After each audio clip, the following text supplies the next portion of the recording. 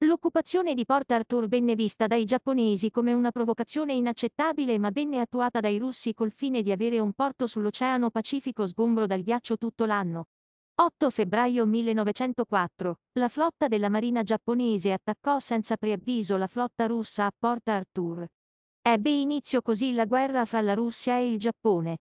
L'11 marzo 1905 l'esercito giapponese entrò nella capitale della Manciuria, riuscendo ad infliggere ai russi una pesante sconfitta.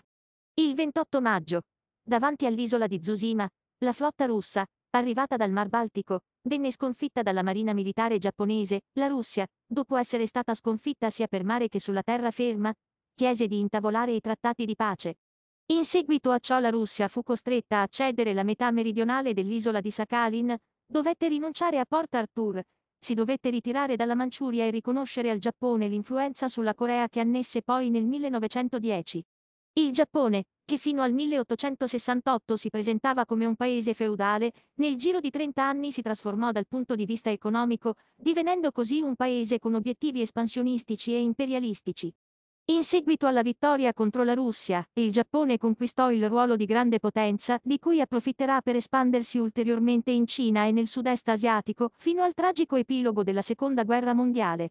Posto sotto il controllo degli Stati Uniti fino al 1951, il paese svilupperà una delle economie più forti del mondo,